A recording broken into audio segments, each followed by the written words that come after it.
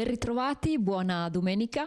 Oggi vi insegniamo, vi vorremmo insegnare come eh, preparare il pasto per eh, i nostri amici animali, per i cani in particolare, eh, dandogli da mangiare qualcosa di veramente buono per loro, però spendendo il giusto.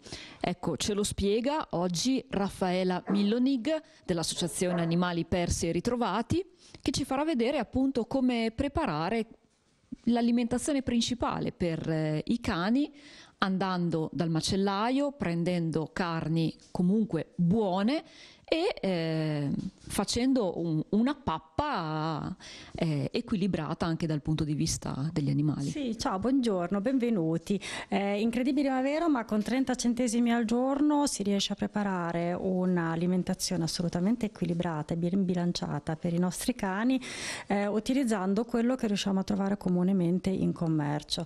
A tal proposito dobbiamo però sapere un qualcosa un pochino sull'alimentazione dei cani in genere. Eh, innanzitutto non è è vero, si è capito che ormai il cane sarebbe meglio che mangiasse due pasti al giorno e non uno.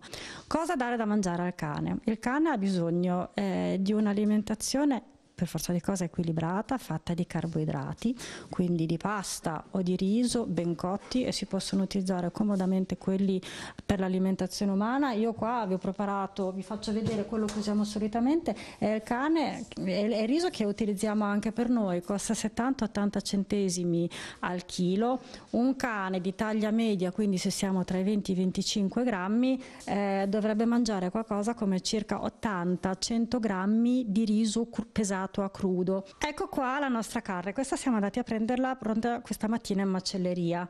Io non l'ho nemmeno controllata, però questo è quello che in effetti ritiriamo ogni una, ogni due settimane per i nostri cani. Chiediamo le rifiliature.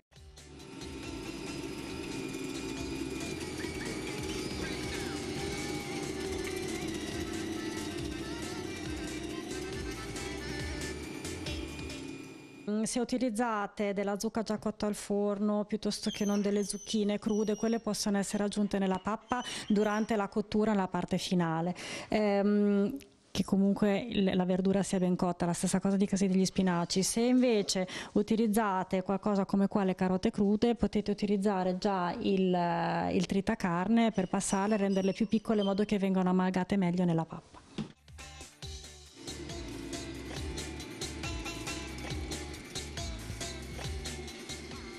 Il riso è pronto, sono state già aggiunte le carote, che in effetti ci mettono un pochettino più di tempo a cuocersi, e tra un po' metteremo la carne. Mm. Perché bisogna cuocerla la carne? Allora, la carne va, eh, diciamo sì, cotta giusto scottata, bastano 70 gradi e lo dobbiamo fare perché eh, in condizioni di macellazione non buone può eh, presentarsi il morbo di Jauselsky che per l'essere umano è assolutamente innocuo.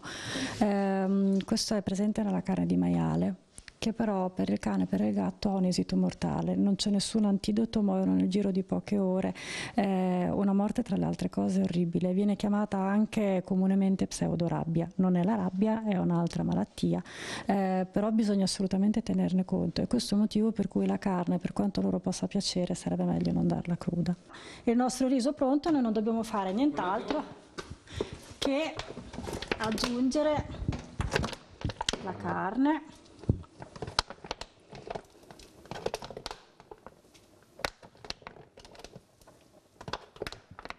e adesso in questo istante io rigiro tutto quanto di modo che si amalgami bene e il calore che c'è qua nel tegame contiene già eh, è già della temperatura giusta per praticamente incominciare a uccidere quel morbo di Oseschi di cui parlavamo prima.